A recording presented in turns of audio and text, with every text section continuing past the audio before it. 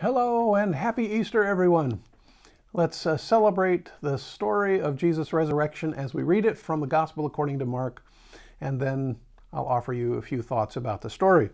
From the 16th chapter When the Sabbath was past, Mary Magdalene and Mary, the mother of James, and Salome brought spices so that they might go and anoint him. And very early on the first day of the week, they went to the tomb when the sun had risen. And they were saying to one another, Who will roll away the stone for us from the door of the tomb? And looking up, they saw that the stone was rolled back, for it was very large. And entering the tomb, they saw a young man sitting on the right side, dressed in a white robe, and, and they were amazed. And he said to them, Do not be amazed. You seek Jesus of Nazareth, who was crucified. He has risen he is not here. See the place where they laid him. But go tell his disciples and Peter that he is going before you to Galilee. There you will see him as he told you. And they went out and fled from the tomb, for trembling and astonishment had come upon them, and they said nothing to anyone, for they were afraid.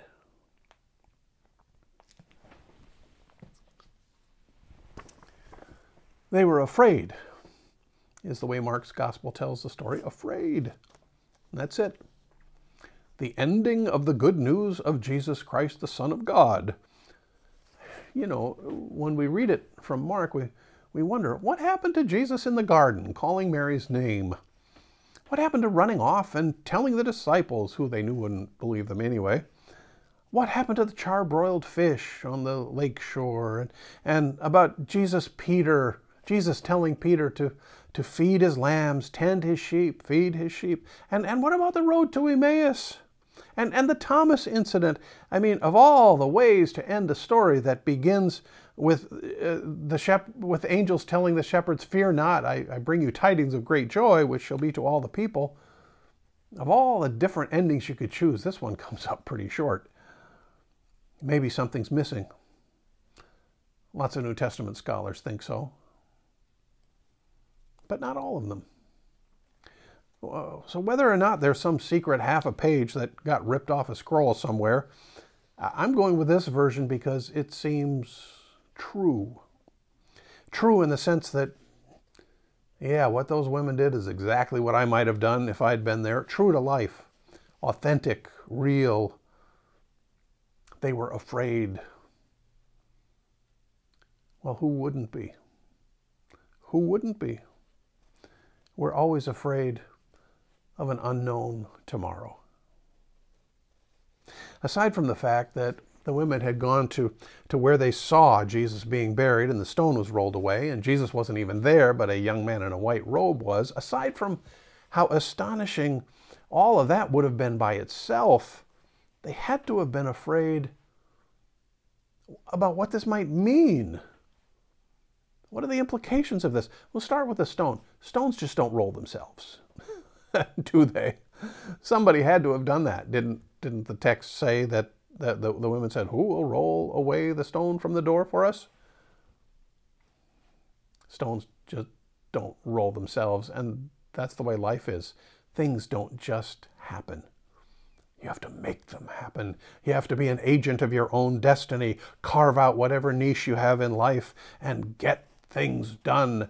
Nobody's giving you a free lunch, buddy. Take the bulls by the horn. Am I right? But you know what? The stone was done rolled away. By whom? By the kid in the robe? Not likely. Or was something bigger going on? Could something bigger be going on? Could it be that God is at work in this world? Moving stones around, opening doors, dropping little packages of grace, making things happen that we didn't give God permission to do and we didn't even ask God to do. Could it be that God is God and not us? If that's so, if if there really are more things in heaven on earth than are dreamt of in your philosophy, then well, wouldn't that shake you up?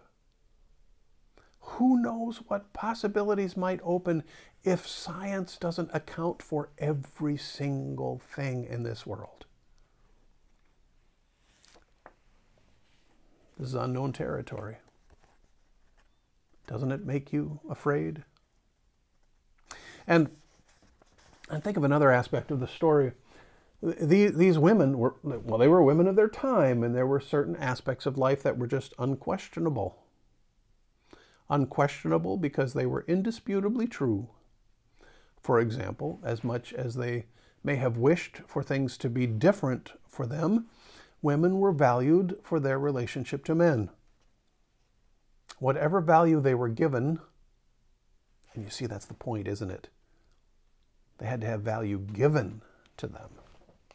Anyway, whatever value was given to them, it came from being the wives of upstanding men or the mothers of bright little boys.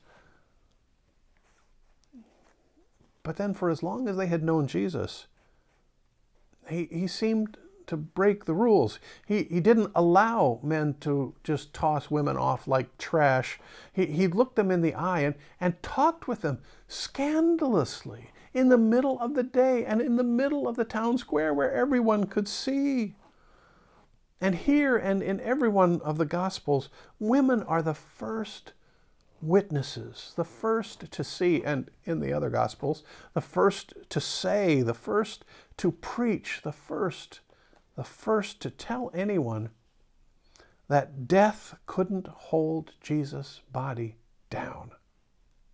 Could it be that Jesus is redefining reality for these women and for the world? Could it be that they didn't have to see themselves as second class anymore?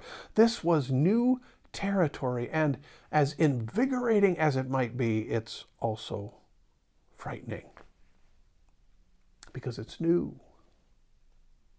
it's unknown.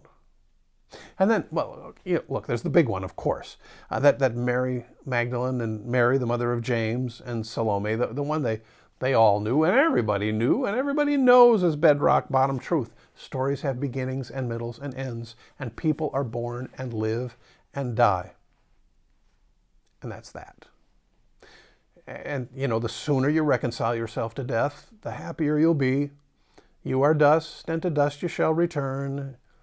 In the meantime, you love whom you love, but you can't hold them forever. If fortune smiles on you, either you get to say goodbye to them when they die, or they get to say goodbye to you. But it's not a very wide range of choices here. And then there stands this lad in a in a shadowy tomb and, and, and says, He's risen. I know you're looking for your dead friend, but he's not here. He is risen. Well, no. that's fantasy. That's that that's delusion. That's wishful thinking, right?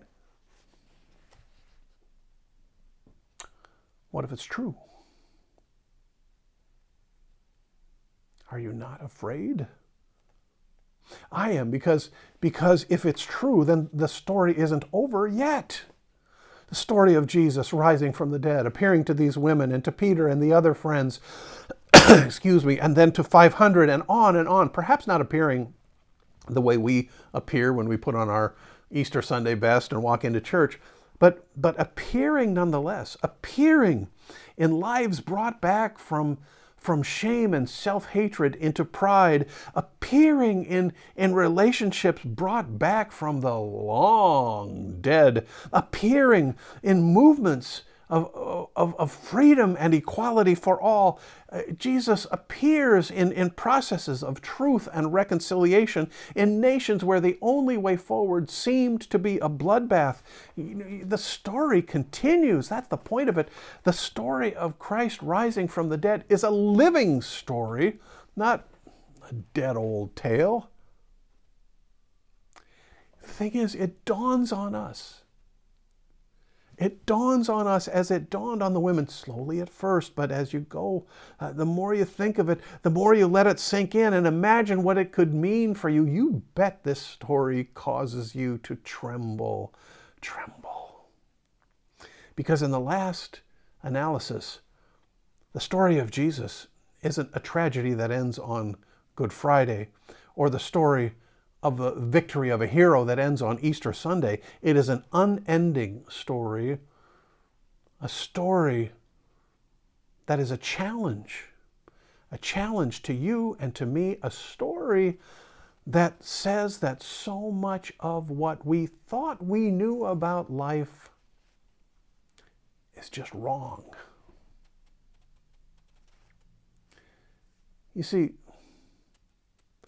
we are who God says we are,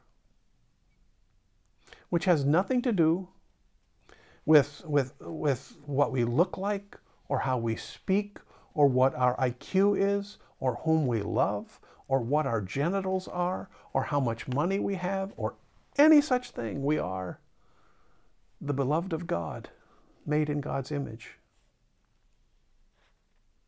God is alive and well and at work in places beyond anything that we ask or imagine. God is at work in this world without our permission and beyond our request.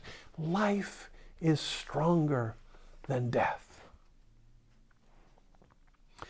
And I remind you in this story the power of evil has been defeated. Does it show up? You bet it does. Of course it does.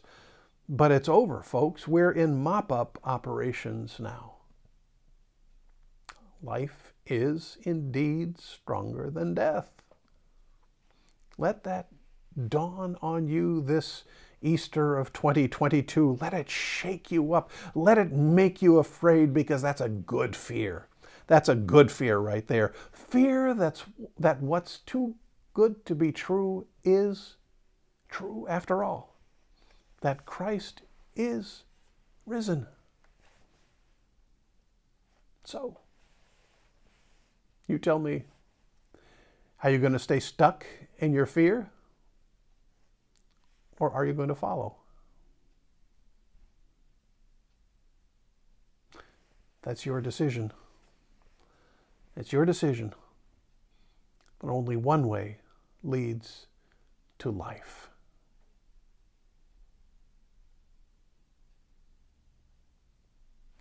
That's the message for Easter this year. May you, on this day and tomorrow and tomorrow and tomorrow, choose life. The grace of our Lord Jesus Christ, the love of God, the communion and fellowship of the Holy Spirit be with you and remain with you now and always. Amen. See you next week.